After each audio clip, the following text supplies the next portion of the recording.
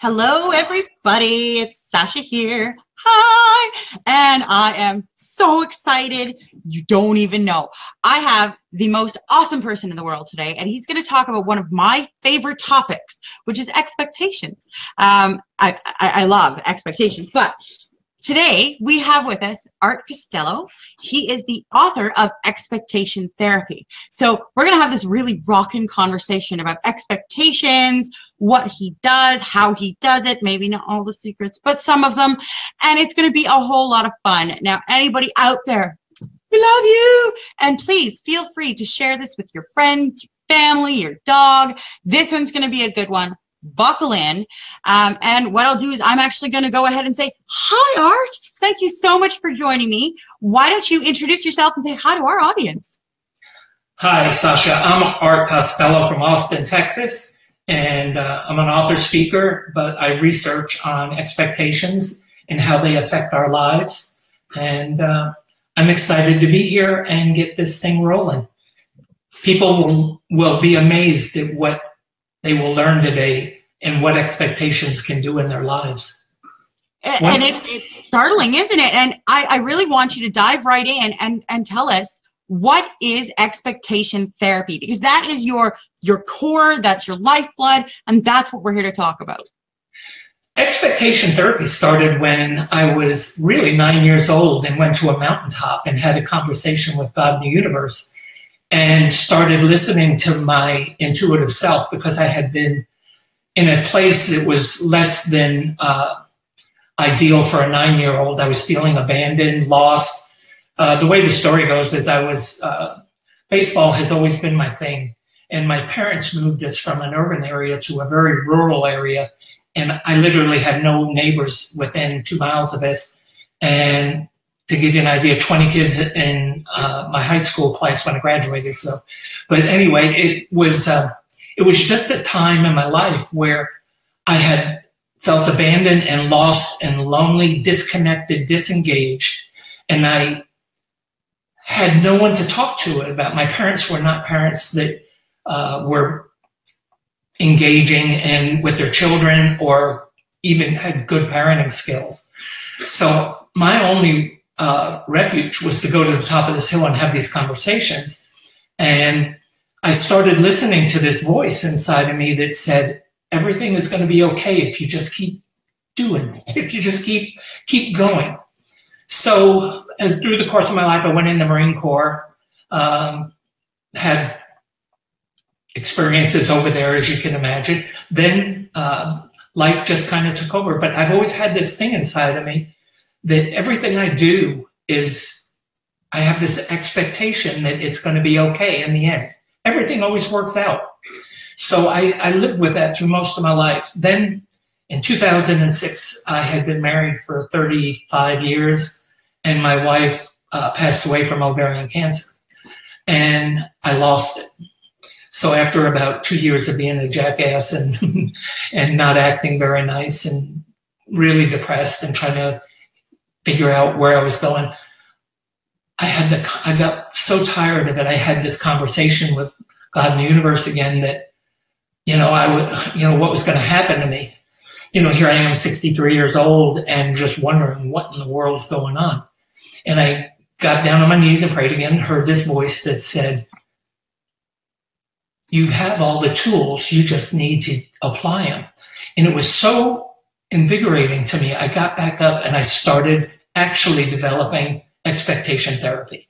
And that's how it started. Because I look back over my life and I realized that my expectations, what has always kept me so positive, so uh, active, so engaged, and and just full of life. I mean, that's one of the questions I always get from people is, you're always happy all the time. And it's because I expect to be, not only expect it, but it's ingrained in me that everything's going to be okay. So I live this fearless life.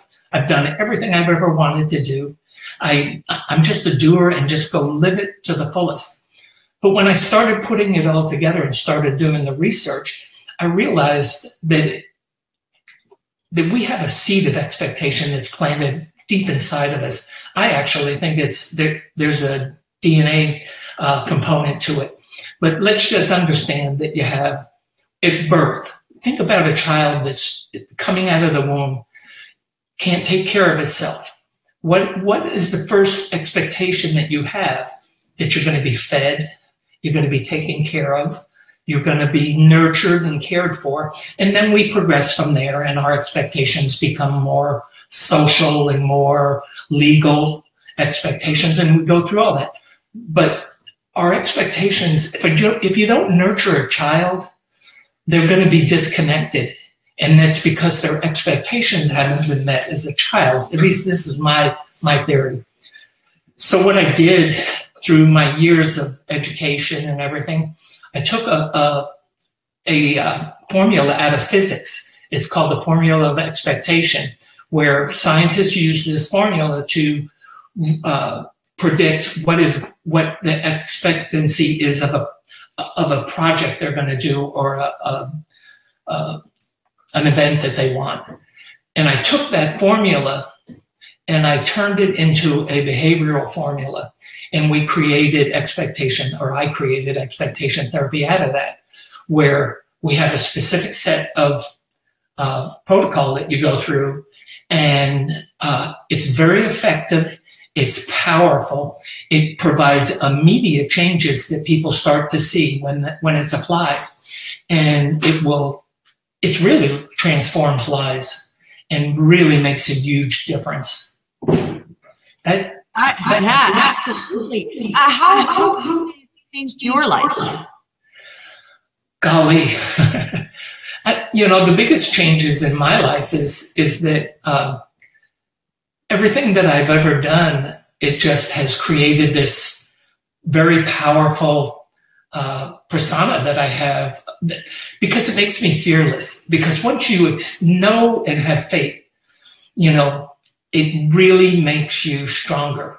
And so I've always approached everything from the sense of faith and not fear, because fear is what destroys and stops everybody from doing what they what they do. And we only see our expectations through two lenses, either faith or fear.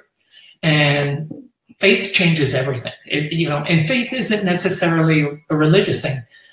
It can be. It, it is for me. I mean, it's it's very powerful in my life, but I understand that all people aren't like me. And some people, it can be in a coach, it can be in a teacher, uh, it can be in a parent, it can be the most important one is in yourself because, and that's what happened to me.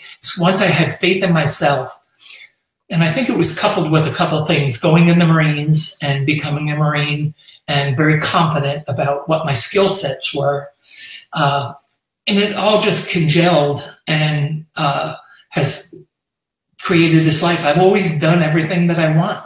I mean, it, it just, I've always done everything that I've wanted, and I've done it with relative success. But I look at, at everything as a learning experience.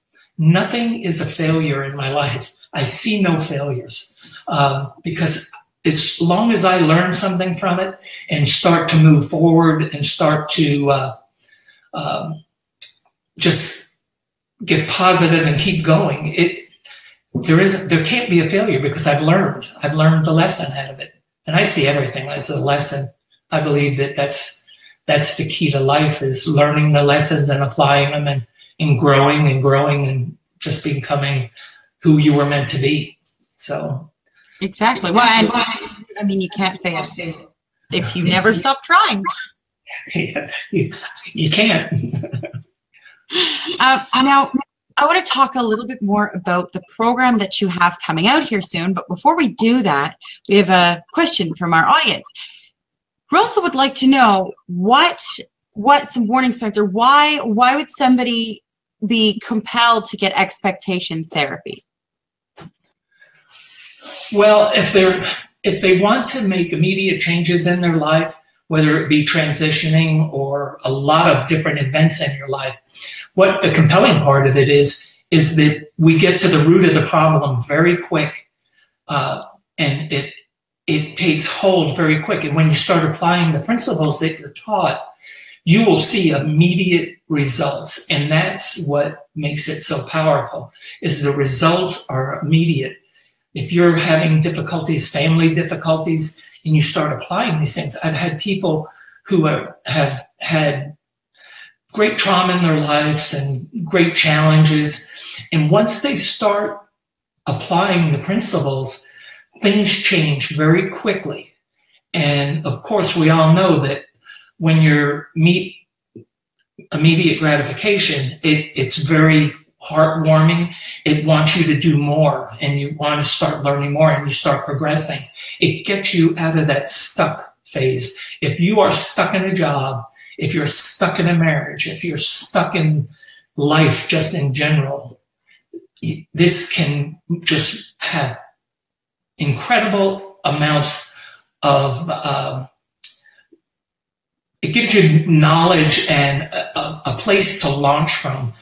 Doesn't matter. You know I, one of the things with me is that you know the past is in the past. You can't change it. You can't do anything about it. My thing is just push it back in, into its place and start living for now. It's about living in the here and now in this moment because when you live in this moment you have all the control. And that's another thing that expectation therapy does. It puts you in the driver's seat. You have control of your life and you take that control that you're nowadays there's everybody's trying to control us. I mean from politics to to schools to everything everybody's trying to control us. It gives you the power back. It takes you from being a a, a participant to being a leader. You know you start to get the leadership skills and you start to develop those things. And that's what we see when people go through the program is they start to take control of their life and move forward and they start enjoying things more. They their self-worth goes up. Their their self uh, um, self-awareness comes comes up and uh, their determination um, there's so many things that it does because of it being one of the most basic of tools that we have to control our life is our expectations that's why when people say I don't I don't expect anything.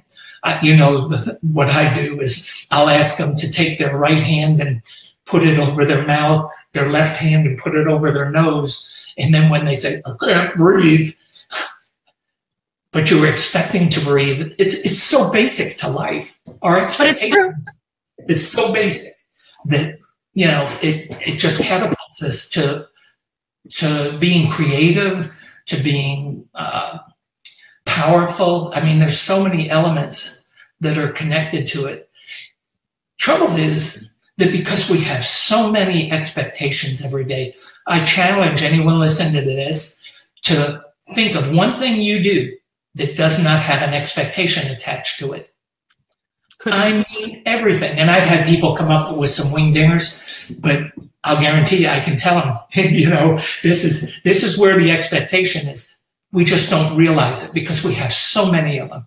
So expectations are kind of like uh, kind of like taking a shower or brushing our teeth every day. We have them and we do it so often and we do it so repetitively that we lose the uh, consciousness and the self-awareness of what the power is in an expectation.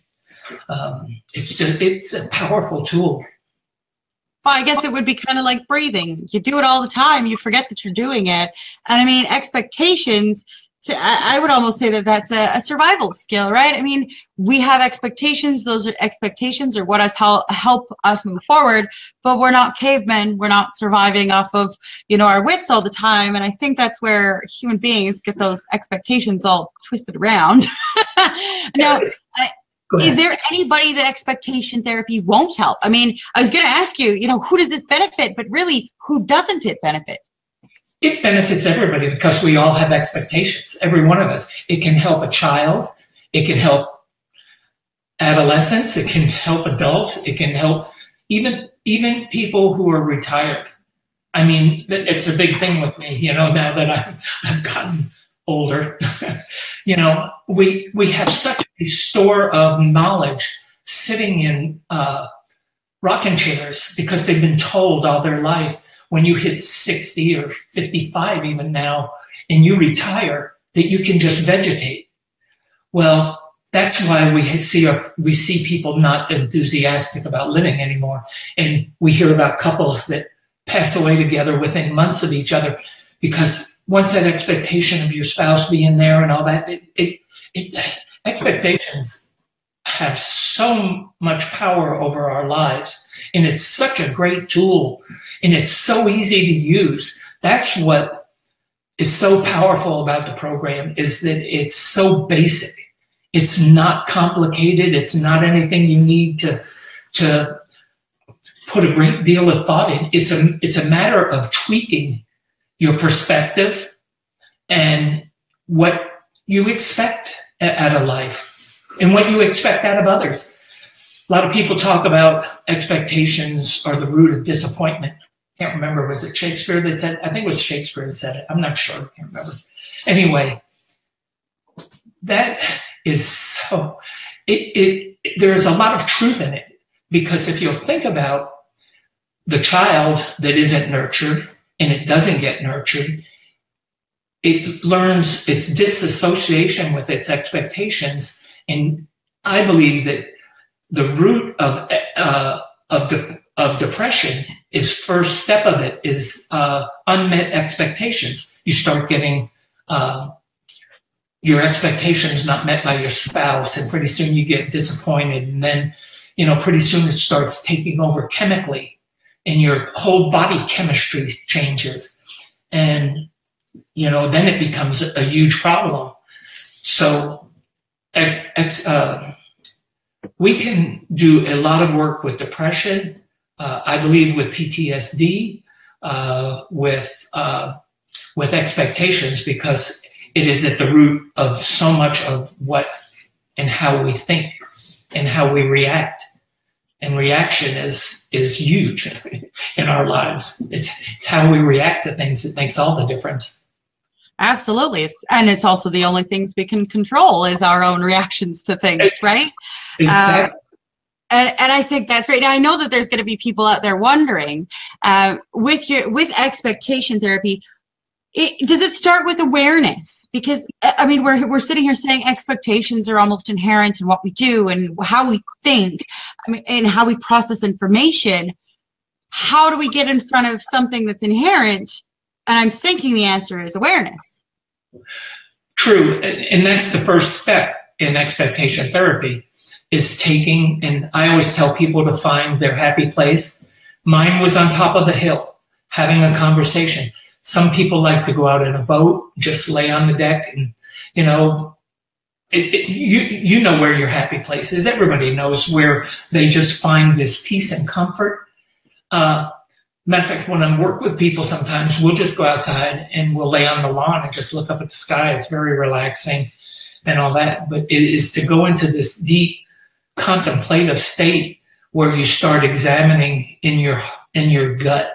You know, you start listening to your gut and you start connecting with your body and your mind and start laying the plans out, start thinking about what you really want, how you want it, and all of those things. So that's the first step in it, actually, is going out and becoming uh, self aware, self conscious, and uh, contemplative, and uh, just start really digging into yourself. It's easy. I, uh, it's easy. You know, you make you make it sound easy. It's not easy, but you make it sound really easy. you can do it. Well, I think a lot of it has to do with the ability to let yourself relax and don't expect. See, in my book, I write about uh, the difference between expect. What's the how it how it works uh, in our mind? Because if if uh, I think in order to learn how to expect, you need to almost get into a Zen-like state to get reconnect with your body and your mind. So people ask me often, is there any time when you don't expect? And yes, there is. There's a time that everybody, I think, during meditation, prayer, all of those things that we do to relax are the time when we throw out all the expectations out of our lives and we just contemplate what what's going on. Sometimes we don't even contemplate. Sometimes we're just zoned in on relaxing. And I think it helps you relax even more once you can get to that space. You know, when we when we sleep, you know, we you know, you put all your expectations aside and you go into a you know, a REM sleep, you know. So it's it's uh it's powerful. Absolutely. And for anybody who's watching this and who is just so eager to read the book because you really should. I posted the link in the little chat thingamajigger. So please check it out. It's absolutely fantastic. Now, I know that as much as you would love to work with each and every one of us individually all the time, because that's the amazing kind of man that you are, I also know that you are working on teaching coaches how to train on expectation therapy. Um, so why don't you tell us a little bit more about your expectation therapy for coaching? What we have done is we've designed a course, and it, it's really interchangeable with everything because in the course we're taking it, we're teaching all of the basic skills to take your coaching level to a new we're giving you a new tool to use. I don't want anyone to think that I'm trying to replace anything or anything like that. This is another tool to have in your tool chest because there's going to be a time, I guarantee it, you can use it. And if you use it as an opening tool in any kind of life coaching that you do or therapy that you do, I believe you can get the results quicker, faster, and it enhances the rest of your practice. And once you do that, word of mouth starts going because people see immediate results and they feel satisfied. I have often, you know, people say, I paid hundreds of thousands of dollars to a therapist or a coach and I've gotten no results. And I spend two hours with you and I, I feel like I've moved yards and miles ahead of where I've been before. So what we're doing is teaching coaches. We're teaching therapists we're teaching uh, this, this very simple skill sets that they need to use to get their uh, clients to move forward and uh, apply these principles. That's what the course is about. And it's it's absolutely fantastic. Um, and I think it's a great course because if we enable our clients to be able to feel this instant gratification, we're further enabling ourselves to be able to help more people. And I mean, what coach out there isn't trying to help more people? I dabble in some coaching. It's it's hand in hand with what I do with uh, business owners. Why wouldn't I want to help? Um, so I think it's it's a really awesome course. Now, what is different in learning expectations for oneself as opposed to learning it to teach to someone else? there's really no difference because once you learn it and start applying the principles, it, the principles in, in the system is based on the individual. It forces the individual to take responsibility for them. One of the things that uh, a lot of clients want is they want you to fix them. Well, you and I both know we cannot fix anybody. You have, you have to want to fix yourself. And this leads them to how to fix themselves, how to take a new skill set. So it's no different for a coach. It's no different for any professional. It's no different for a business owner. You can take these principles and teach them to your leadership team and change the core beliefs of your whole entire organization in a, in a, in a corporate setting it will transform it. I guarantee it.